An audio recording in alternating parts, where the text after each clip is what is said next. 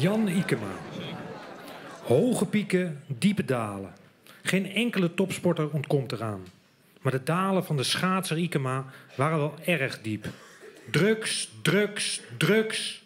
Net zoveel drugs totdat je ook al het geld van je geliefde er doorheen hebt gesnoven. Waarna je direct weer naar nog meer drugs verlangt. Hoe geraak je in zo'n onmenselijk diep dal? En hoe klim je dan uiteindelijk weer naar boven? Luister naar de sportmonoloog van Jan Ikema.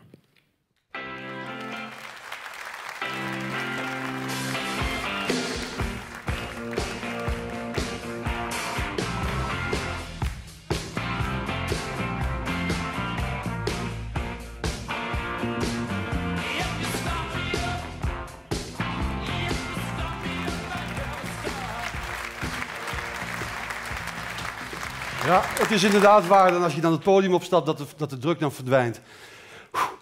Uh, nou, welkom. Mijn naam is uh, ik was een, sprinter en ja, waarom zou ik nou in, in vredesnaam sprinter worden? Kijk, Erben die hier net stond, ja, die, die werd sprinter omdat we al, al, al redelijke sprinters hadden. Maar in de tijd dat ik schaatste, ja, toen was Nederland alleen maar een allround land. we hadden kampioenen van uh, Hilbert van der Duim, Aartschenk, Kees Verkerk, Piet Kleine en, en, noem zo maar op. Maar we hadden nog nooit een wereldkampioen sprint gehad. Ik had te maken met Russen die heel hard schaatsten. En die stukken dikke bovenbenen hadden. En eh, als die Russen dan een keer ziek waren, dan hadden ze weer tien andere Russen. En die schaatsten ook allemaal harder dan ik. Dus, nou, dan komt Calgary. En Calgary was, ja, dat was, daar moest het gebeuren. En wij waren daar al een week voor de tijd. En uh, toen vroegen ze van het NOC van Jan, zou jij de vlag willen dragen met de openingsceremonie? Nou, dat had volgens mij nog nooit een sprinter gedaan. Dus ik was helemaal euforisch. En toen zei de trainer van ja, maar je moet de volgende dag wel rijden. Hè? De, openingsceremonie en, en, en, en, 18 uur later moet je schaatsen. Ik zei, maakt me niet uit. Dus ik stond daar op veel te kleine moonboots, want ik was, uh, net als nu, nu mijn sportschoenen vergeten ben, had ik toen ook mijn moonboots vergeten naar de Olympische Spelen. Dus ik stond op maat 39, uh, stond ik daar met die vlag zo. En ik stond er trots. Het was min 18. En uh, ja, ik voelde er helemaal niks van, want ik stond er tussen allemaal kampioenen. En de volgende dag moest ik schaatsen, maar ik werd zo euforisch van. Hè, zoveel aandacht. En er zei iemand, ja, dus, er kijken misschien wel een miljard mensen. Miljard? Ik zei, hoeveel is dat? Heel veel. dus ik heel, heel, stoer met één hand zo, die, die vlag de hele tijd. En, ja, en de volgende dag schaatsen. En ik zat in het eerste paar en het was een gelukje. En ik had de binnenbaan, want in die tijd mochten we, moesten we nog één 500 meter rijden. Dus niet een binnenbaan en een buitenbaan. Dus ik had het geluk dat ik de binnenbaan had, want dan had ik de laatste buitenbaan. En dan, uh, ja, dan kon ik gewoon hard door, doorschaatsen. Dus ik ga naar die start toe, go to the start. En ik zak zo in. En dan, dan, dan tellen die schaatsrijders, tenminste dat deed ik dan, 21, 22. En als 22 dan afgelopen is, dan moet je weg, mag je weg. Maar ik was bij 22 en ik val zo in het startschot. En uh, ik denk vals. Maar ja, als je dan niet teruggeschoten wordt, ja jongen, dat geeft een stukje euforie. Helemaal gek van. Dat is, het, dat is hetzelfde als je met z'n tweeën naast het stop, voor het stoplicht staat en, en, en, en je rijdt door het stoplicht heen. En degene naast je die krijgt een bekeuring en jij mag doorrijden. En, dat, dat, nou, dus ik open, niet 9,7 zoals Erben, maar 9,85. En dat was ook voor mij een hele snelle opening. En we noteren 1988. Hè? Ik, uh, en ik, ik, ik, ik, ik rijd door en ik rijd tegen een Canadees. Ik had, had de binnenbaan en op die kruising ook keihard, keihard naar die bocht toe. Ik maak even een lange slag. Ik kom goed in de bocht te zitten en stap zo over. Ja, hupsakee. Uh, 36, 76. Nou ja, nieuw Olympisch record. Eventjes de snelste van iedereen. Ik, ik verbeterde het record van Erik Heiden. Dat was een grote favoriet. En uh, ja, ik vond, het, ik vond het geweldig. Nou ja, iedereen blij natuurlijk. Uh, onze koning was er aanwezig, toen nog kroonprins. Uh, allemaal ministers, allemaal hoogwaardigheidsbekleders. En hier is het Jolly Good Fellow, groot feest. Nou drie dagen later moest ik mijn duizend meter rijden. Ik ging toen ja, onderuit. Ik stond op een blokje. Ik stond echt dwars bovenop een blokje. Er zijn hele mooie foto's van dat je mij zo weg ziet glijden. Ja, en toen lag je, dan lig je daar op de grond en dan, dan is er op een gegeven moment niemand meer. Hè? Dan, uh, toen ik die 500 meter reed, toen al, allemaal mensen, en, en, handen op, op de schouders en, en, blij. En toen ik daar onderuit lag, ja, toen, toen, eh, toen, eh, toen, was, was er niemand. En dan moet je alleen van het ijs afkomen. Ja, dus ik was weer terug op aarde. Nou, ik was toen 25 jaar, ik ben toen gestopt met schaatsen, ik, ik, want ik moest een maatschappelijke carrière beginnen. Oh, wat is die warm. Ik begon, ik begon, ik begon op een gegeven moment, ik, ik, wilde eigenlijk sportleraar worden, dicht bij de sport blijven. Maar ja, dat, dat, daar had ik de, de, de bagage niet voor. Ik had maar een MAVO-diploma en ik moest een HAVO-diploma hebben om de ALO te doen. En toen ging ik ook eens vragen, wat, wat, wat, wat verdient een sportleraar? En dat was, was, ook niet zo heel erg veel. En ik zei, wat, verdient eigenlijk wel veel, hè? eind jaren 80? En dat was de, het onroerend goed, makelaar. Dus ik denk, nou, dan ga ik makelaar worden. En uh, dus van, van, van, van schaatspak naar maatpak binnen een korte periode. En ik, ik nam dat vrij serieus. het, het, het, woningaanbod dat kwam s'nachts binnen, dus ik zat s'nachts ook achter de computer. En uh, ja, om dat een beetje vol te houden, begon ik te experimenteren met cocaïne. Dat is op zichzelf best wel link, zeg maar. omdat ik daar ook niet heel erg veel verstand van had. En ehm, maar ja, ik, ik, ik verkocht er wel, wel huizen op. Ik, had, ik, had er, ja, ik kon er heerlijke taxatierapporten op schrijven. Mooie lange volzinnen. Hè, gelegen aan uitvalswegen en goed gesitueerd. Dubbele carport en uh, L-vormige woonkamer met living. En zo was ik dan wat bezig. Ik bleef er ook slank op. Ik, ik had nogal de neiging, zeg maar tussen de winters door, tussen de seizoenen door, dat ik altijd wel een kilo of 6, 7 aankwam en dan weer moest aftrainen. En dat had ik met dat cocaïnespul helemaal niet, joh. Ik bleef, bleef fit. En, uh, nou, cocaïne, cocaïne, is vrij duur. En uh, ja, ik, eh, ik, ik, wilde eigenlijk ik nog meer energie hebben. Dus ik begon te experimenteren met amfetamine, met speed. En speed ging ook heel goed op. Dat, dat echt werkelijk, dat, cocaïne heel creatief. speed, kon ik het heel lang volhouden. Maar soms dan kwam ik bij een makelaar, had ik volgende morgen een, een, bijvoorbeeld een taxatie, nee, een, een, verkoop. Moest ik naar de, naar de notaris toe. En dan, uh, ja, dan had ik om half vijf s'nachts nog zulke grote pupillen van de, van de cocaïne.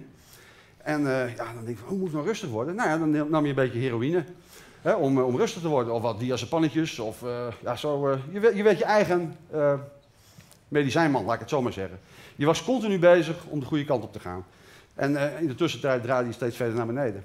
Nou, het zwarte gat, zeg maar, dat, dat heb ik aan alle kanten aangetikt. Ik ja, ik, ik, ik want, want, ja, ik vertel het nou wel heel snel allemaal en het, is een hele periode geweest. Maar op een gegeven moment dan breekt het je bij de hand af, dat kun je wel voorstellen. Ze hadden mij in Amsterdam niet meer nodig, dus ik ging als makelaar in, in Friesland werken, mijn eigen zaakje. Ja, dan moest ik op een gegeven moment ook rekeningen versturen. Ik had nog niet het geld om een, om, om, om een meisje aan te nemen. En ja, dan vergat ik die rekeningen weer te versturen. Maar ook taxatiereporten. Ik, ik zat in Harlingen en dan moest ik naar Vlieland toe. En uh, was ik mijn camera vergeten. Of ik was op Vlieland en ik moest uh, op de Schelling fotograferen. Of ik, de mensen kregen een verkeerd taxatierapport met een verkeerde foto erop. Dus het ging helemaal fout. Nou, dat, dat, dat zwarte gat, daar, ja, daar, daar, daar, ben, daar, ben ik zeg maar, daar, daar, ben ik nog veel te lang in blijven hangen. Um, nou ja, alles breekt me bij de handen af. Ik, ik, ik ben mijn baan kwijt. Ik zie mijn zoon niet meer, Jesper. En uh, ja, ik, uh, ik, heb ook geen, geen vaste relatie meer. Ik krijg op een gegeven moment een, een contact met, met Geertje. En het leuke is, Geertje, dat is de vrouw waar ik nu nog bij ben. En die vertelde ik aanvankelijk niet dat ik verslaafd was. Ik, ging naar haar toe, en, want, zij had al twee, twee, twee keer een eerdere relatie gehad. En misschien een beetje water, want ik krijg een hele droge mond. Um, de, die had al een paar keer eerder een relatie gehad. En ik, ik, had heel, ik had best wel wat geld verdiend. En ik kwam bij haar inwonen. En ik was knetterverslaafd. En ik ben... Um, maar ja, zij had het niet door. En, en, als je gewoon veel speed gebruikt, dan ben je ook altijd vrolijk. Hè? Dan ben je altijd uh, joviaal en uh, euforisch. En, uh, en Geertje dacht, wat is dit joh? Die gozer... En ik heb een hele huis verbouwd, want ik, ik was vol energie natuurlijk. en...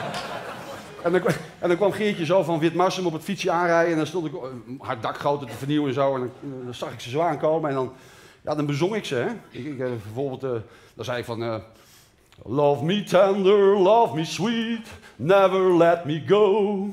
You have made my life complete, and I love you so. Love me tender, love me true, all my dreams fulfilled. For my darling, I love you, and I always will. Nou ja, dan uh, zo bejubel ik. Oké. Dus ik maakte aan alle kanten indruk op haar. Maar ja, na een jaar, toen was het geld op. En de speed was op. En uh, toen was die vrolijke, enthousiaste uh, Jan, die, ja, die lag hele dagen op bed. En toen dacht Geertje van, ja, het huis is wel verbouwd, dus ik hou me maar wat in. Maar ja, na een paar maanden zei ze van, ik heb ze lopen turven. Jij ligt de helft van de tijd lig je bed. En ik zei, ja, koppijn. En, maar dan had ik nog nooit verteld dat ik echt verslaafd was. Dus toen ben ik gaan praten. En toen werd ze niet kwaad. Toen zei ze van, nou, je moet, je moet naar de dokter toe. Dus ik, ik naar de huisarts toe. En ze zei, nou ga je het zeggen. En, dus ik kwam daar, maar toen durfde ik niet, niet, niet, niet, te praten. Toen zei ik dat ik een kalknagel had. Die had ik ook en dan kreeg ik dan een tubje voor mij. Nou, ik kwam thuis, ik moest gelijk weer die kant op. En, ze zei, ik ga de huisarts bellen. Dus toen ben ik eh, naar de GGZ gegaan. Toen heb ik verteld dat ik een bijzonder groot probleem had. En eh, ja, daar heb, hebben ze, zagen ze ook wel dat ik eh, wel behoorlijk in de war was. Ehm, ze zei, je hebt ook nog ADHD. Oh, dat, dat had ik, ik wist wel dat ik druk was. En, eh, ja, dus ik moest leren omgaan met ADHD. Ik heb alle workshops gevolgd die er waren. Omgaan met ADHD, impulscontroletraining, socialisatie, agressiecontrole, mindful thinken, eh, yoga. Ik stond op mijn kop om, eh, om, om van de drugs af te komen. En ja, het, het, het, hielp allemaal wel, maar het was niet geweldig. Ik, ik, ik, wa- ik was een jaar van de drugs af. En ja, ik, ben, ik ben nu zeg maar 90 kilo. Maar dat was ik ook toen ik, toen ik snoof. Was ik misschien ietsje lichter. Maar daarna, eh, toen ik een jaar gestopt was, was ik 128 kilo. Dus ik, daar kwam Jan aan. En, eh, en, ja, mensen zeiden ook altijd van, ja, vroeger was lachen met Jan en nu zie je hem niet meer. En dat vond ik eigenlijk zelf ook wel. Dus ik dacht van, ik ga weer stiekem beginnen. Maar ik had natuurlijk wel geleerd in al die jaren dat ik moest ik had leren praten. Ik, had, ik kon me uiten, zeiden ze. Je kunt je beter uiten. Dus ik uitte mij van, nou ja, ik, ik ga weer drugs gebruiken. Nou, iedereen... iedereen... Ja, iedereen een rapperoer. En toen zei, zei mijn vriendin van, nou, misschien moet je een wereldreis maken. Ik zei, hebben wij wereldreisgeld? Nou, nee, maar haar zoon die was dan kapitein op de stad Amsterdam. En dan moest ik maar een reisje mee. En ik van, eh, van eh, Gran Canaria naar eh, het Caribisch gebied. En daar al die eilandjes bezocht. En ergens op midden op de oceaan begon ik ook tegen andere mensen te praten. Je kunt je wel voorstellen, als je met 75 mensen op een boot zit, dan na een week dan weet je al eh, wie een lipcorrectie of een oogcorrectie of een borstcorrectie heeft gehad. Dus ik denk, nou dan kan ik ook wel eens los. Dus ik zei, ja, jij bent al schaatsenrijder geweest, toch? Ik zei, ja, maar ook, ik heb ook een eh, bepaalde verslavings... eh, oh ja, je was gek op drank, hè? Ik zei, nou, ik gebruikte... eh, nou, dan vertelde ik dus alles wat ik gebruikt had. En toen was er niemand die zei van, oh, wat ben jij nou een eikel, joh. En toen zeiden ze van, eh, goh, wat goed dat je er al over kunt praten. Oké, oké. En eh zou je dat niet vaker doen? Want wij weten dat, niemand weet het. Dus ik kwam thuis in, in december en dat was vlak voor de weer Olympische Spelen in 2006, geloof ik. En toen heb ik, eh, ja, de eerste beste journalist die bij me thuis kwam, die zei van, eh, toen heb ik gezegd van, ja, ik heb een probleempje met, met de verslaving gehad. Ja, zei, je dronk nogal veel, hè? Ik zei, nee, maar nou, cocaïne, amfetamine, LSD, heroïne, en alles wel geprobeerd. En eh, ja, dat kwam, dus de volgende, dat kwam dus in de krant. En dat zou eerst twee weken daarna in de krant komen. Maar het kwam eigenlijk al een, een, de dag daarna kwam het in de krant. En dat had ik misschien beter eerst even kunnen vertellen aan de familie. Want, eh, want, want, ik, want kwam niet met zulke letters in de krant. Nee, ik kwam met zulke letters in de krant. Ikema, 15 jaar verslaafd geweest aan coke. Nou ja, ik ben, eh, ik ben toen van, van onderaf begonnen. Ik heb, ik heb, eh, ik heb eh, ja, ik, ik, hoe noemden ze dat? Reïntegratietrajecten heb ik gevolgd. Ik heb een boot gebouwd. En toen was die boot af en toen eh, moesten wij aardappelkistjes in elkaar schieten en hekken solderen. En ik zei van, hoe lang gaat het nog duren? Hij zei, nou, die hekken, dat kan altijd wel doorgaan. En die aardappelkistjes, daar is ook, komt ook geen einde aan. En ik stond in een donkere Romney-loods en ik denk, nou, dit is te gek, dit wil ik niet. Ik wil terug naar de sport, ik wil, ik wil wat doen. Dus toen ben ik, ik denk, nou ga ik iets doen waar niemand van zegt van, waar ben jij nu weer mee bezig? Ik ben langs scholen gegaan en ik heb die kinderen verteld over drugs. Ik heb verteld dat ze met hun vingertjes van die drugs af moesten blijven. En zulke soort dingen. En ja, van het een kwam het ander. En ik, eh, op een gegeven moment, eh, steeds vaker moest ik praten. En toen dacht ik bij mezelf, hé, hey, ik, ik, ik bereik de mensen. Hè? Nu, net als nu, 505 mensen. Eh, als ik nou elke keer ga zeggen dat ik weer terug wil komen bij het schaatsen. En dat heb ik gedaan. En dat, dat, dat, dat ging geweldig. Het jaar daarna dan, mocht ik al trainen samen met Gerard van Velde. Hè, die daar in Salt Lake City lang op de baan lag. Maar, dat, ja, maar die was ook een goede trainer, hè? En eh, die kwam met twee jongens, eh, jongens van Mulder. Ja, nooit van gehoord. Ronald en Michel. En eh, ja, ik kon gelijk wel zien dat dat toppers waren natuurlijk. Niet qua schaatsen, maar wel qua instelling. En ja, daar heb ik mee gewerkt. Ik, ben zeg maar drie jaar geleden ben ik teruggegaan, naar, of teruggegaan, ben ik coach geworden van het gewest Friesland. En ik werk nu met jonge mensen, eh 16 tot, tot, tot volwassen. En ik probeer het beste uit, uit hun te halen. En dat, dat geeft zo vreselijk fucking veel voldo- voldoening. Hè, dat, dat, het- het Oké, het betaalt niks bij het gewest. Maar je hebt het gewoon nodig om, eh, om gewoon jezelf te zijn. Om het beste uit jezelf te halen. Dus ik, wat doe ik tegenwoordig? Ik, eh, ik schilder huisjes. Ik ben ZZP'er. Ik heb een eigen schildersbedrijfje. En eh, ik hou wat lezingen. Ik ben eh freetime makelaar. want de, de onroerend goed trekt weer wat aan. En... You never know. En, ehm, ja, en ik, ik maak er gewoon... Kijk, ik ben nu 52 en ik, eh, er zijn ooit mensen geweest die zeiden... jij haalt de 50 niet. Nou, kijk aan, hè, 52 jaar. Nou, een klein beetje een buikje. maar, maar ik voel me weer gezond en ik ben weer blij dat ik bij de, bij de terug ben. ik was dan een geboren sprinter. Maar het leven en alles wat ik heb meegemaakt heeft mij toch wel een stukje een allrounder gemaakt. En daar wou ik het bij laten.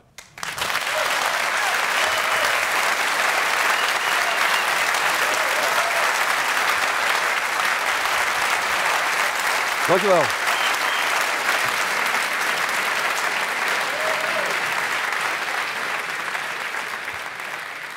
Ja, het ging, het ging beter dan de generale repetitie. Ik heb gewoon wel mensen om me heen nodig om, om, eh, om, om, om me goed te voelen. Van de week had ik geoefend voor twee mensen op het kantoor. Maar uh, ja, dan ging het, ging het niet echt, echt super. Het ging nu wel lekker. Ik had wel het idee dat ik het publiek bereikte.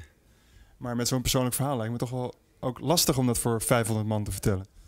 Ja, dat was het vroeger wel, maar ik heb het natuurlijk wel eens eerder verteld. En ik, ik geef dan ook wel lezingen bij de GGZ uh, over mensen die, die dan nog verslaafd zijn of problemen hebben. En um, ja, daar heb ik eigenlijk wel een beetje geleerd om eerlijk te zijn. En daarbij komt natuurlijk dat ik uh, als verslaafde ben je natuurlijk nooit eerlijk. Hè? Dan uh, lieg je altijd. En ja, dat wil ik gewoon achter me laten. Ik wil gewoon eerlijk door het leven. En dat, dat, dat hou ik al, al tien jaar vol, zeg maar.